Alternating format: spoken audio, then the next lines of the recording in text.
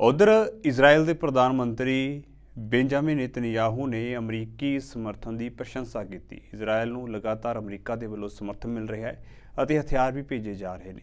America ਦੇ ਸਮਰਥਨ ਤੋਂ ਬਾਅਦ ਇਜ਼ਰਾਈਲ ਹੋਰ ਵੀ ਮਜ਼ਬੂਤ ਹੋ ਚੁੱਕਿਆ ਹੈ। ਨੇਤਨਯਾਹੂ ਨੇ ਹਮਾਸ ਨੂੰ ਚੇਤਾਵਨੀ ਦਿੱਤੀ ਹੈ ਕਿ ਜਿਸ ਤਰੀਕੇ ਦੇ ਨਾਲ ਆਈਐਸਆਈ ਨੂੰ ਕੁਚਲਿਆ ਗਿਆ ਸੀ, ਉਸੇ ਤਰ੍ਹਾਂ ਹਮਾਸ ਨੂੰ ਵੀ ਕੁਚਲ ਦਿੱਤਾ ਜਾਵੇਗਾ।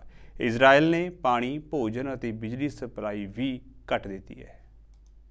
Your visit is another tangible example of America's unequivocal support for Israel. Hamas has shown itself to be an enemy of civilization.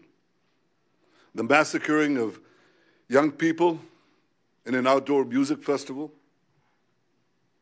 the butchering of entire families, the murder of parents in front of their children, and the murder of children in front of their parents the burning of people alive, the beheadings,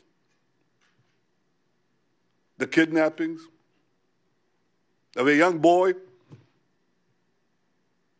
not only kidnapped, molested, hurt, attacked, and the sickening display of celebrating these horrors, the celebration and glorification of evil. President Biden was absolutely correct in calling this sheer evil. Hamas is ISIS, and just as ISIS was crushed, so too will Hamas be crushed. And Hamas should be treated exactly the way ISIS was treated. They should be spit out from the community of nations. No leader should meet them. No country should harbor them, and those that do should be sanctioned.